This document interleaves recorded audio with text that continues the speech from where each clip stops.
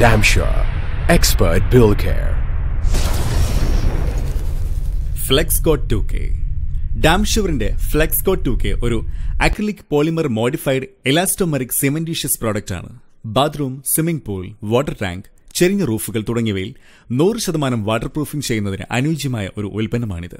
Cement പ്രതലം തുടങ്ങിയവയിലേക്ക് ഉയർന്ന ബോണ്ടിങ്ങും അഡ്ഹീഷനും ഉള്ളതിനാലും ഉയർന്ന ഗ്രിപ്പുള്ളതിനാലും ടൈൽസ് വർക്കുകൾ ചെയ്യാൻ വളരെ അനുയോജ്യമാണ്. ടൈൽ ഗ്യാപ്പുകളിലൂടെയും മറ്റും ഇറങ്ങിച്ചെല്ലുന്ന വെള്ളം ചുമരുകൾ വലിച്ചെടുത്ത് കാലക്രമേണ പെയിന്റ് പ്ലാസ്റ്ററിംഗ് കോൺക്രീറ്റ് എന്നിവ അടർന്നു പോകുന്നതും അതുവഴി ഉണ്ടാകുന്ന ചോർച്ചയും പൂർണമായും ഇല്ലാതാക്കാൻ ഫ്ലെക്സ് കോട്ട് ടൂക്കെ കൊണ്ടുള്ള വാട്ടർ പ്രൂഫിംഗിന് സാധിക്കും.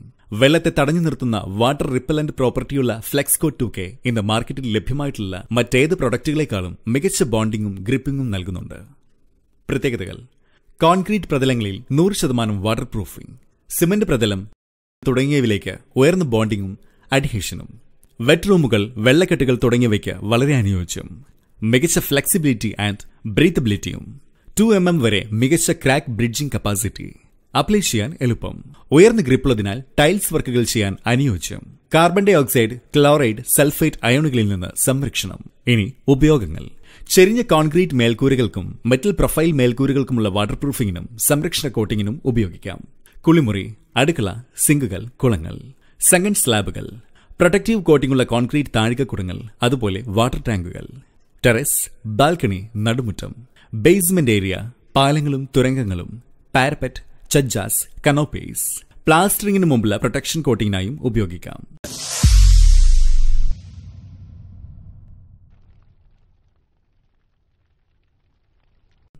ഫ്ലെക്സ് കോട്ട് ടൂക്കി ഉപയോഗിച്ച് ബാത്റൂമുകളിൽ വാട്ടർ പ്രൂഫിംഗ് ചെയ്യുന്ന രീതി. ആദ്യമായി ചുമരിലും തറയിലുമുള്ള ഇളകി നിൽക്കുന്നതോ ഉയർന്നു നിൽക്കുന്നതോ ആയ ഭാഗങ്ങൾ ചിപ്പ് ചെയ്ത് വൃത്തിയാക്കണം. വിള്ളലുകളുണ്ടെങ്കിൽ ഡാംഷൂറിന്റെ മാഗ്നിഫിക്സോ മറ്റ് ക്രാക്ക് ഫില്ലിംഗ് ഉൽപ്പന്നങ്ങളോ ഉപയോഗിച്ച് അവ അടയ്ക്കുകയും പ്രതലം നന്നായി വൃത്തിയാക്കുകയും വേണം.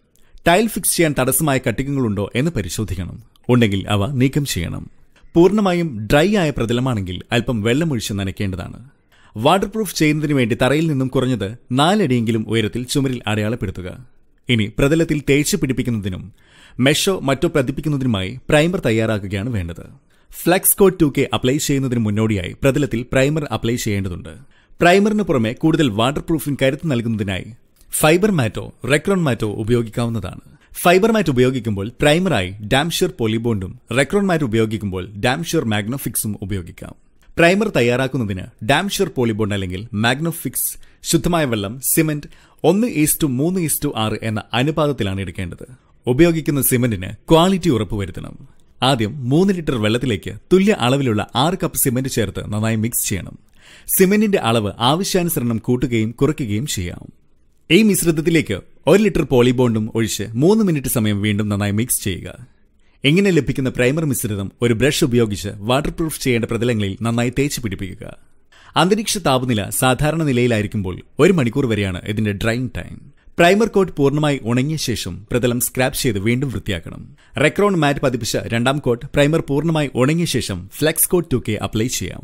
ഡാംഷൂറിന്റെ flex coat two K one is to two അനുപാതത്തിൽ പൗഡറും പോളിമർ ലിക്വിഡും മിക്സ് ചെയ്താണ് ഉപയോഗിക്കേണ്ടത്. അധികം വരുന്ന ടു കെ പൗഡർ കുഴികളും ദ്വാരങ്ങളും അടയ്ക്കാൻ ഉപയോഗിക്കാവുന്നതാണ്. ഫ്ലെക്സ്കോ ടു കെയുടെ ലിക്വിഡ് കോമ്പോണന്റ് ഒരു ബക്കറ്റിലോ കണ്ടെയ്നറിലോ മാറ്റുക. ശേഷം പൗഡർ കോമ്പോണന്റ് അതിലേക്ക് ചേർത്ത് സിമെന്റ് മെക്കാനിക്കൽ മിക്സർ ഉപയോഗിച്ച് ഒരു ഗ്രേ കളറിലുള്ള ജ്യൂസി ലിക്വിഡ് രൂപപ്പെടുന്നതുവരെ മിക്സ് ചെയ്യുക.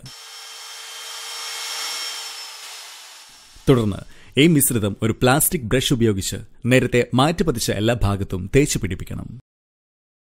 ഇരുപത്തിനാല് മണിക്കൂർ വരെ ഇത് ഉണങ്ങുന്നതിനായി കാത്തിരുന്ന ശേഷം മാഗ്നോഫിക്സ് കൊണ്ട് ഒരു ലാമിനേഷൻ കോട്ടിങ്ങും ഇതിനു മുകളിൽ നൽകുന്നത് നന്നായിരിക്കും.